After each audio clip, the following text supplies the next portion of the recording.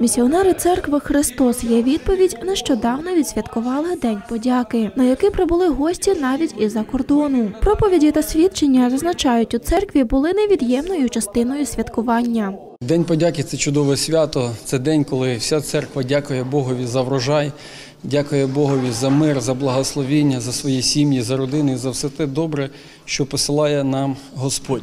Бог особливо благословив цей день подяки. Було чимало людей, і чимало людей нецерковних прийшли на наше свято розділити разом з нами радість.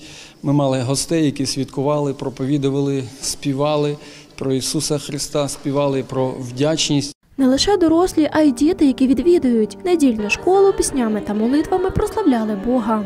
Я би хотів би, щоб усі люди знали про це свято і знали е, істину, і за чого воно святкується, а не просто свято давайте з'їмо тортика.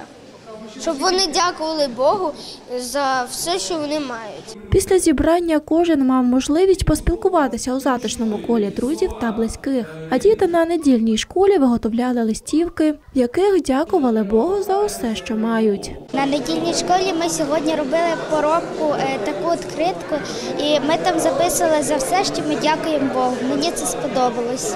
Я хочу подякувати Богу за, е, за батьків, за такий гарний день сьогоднішній, е, за те, що е, я знаю Бога, вірю в нього.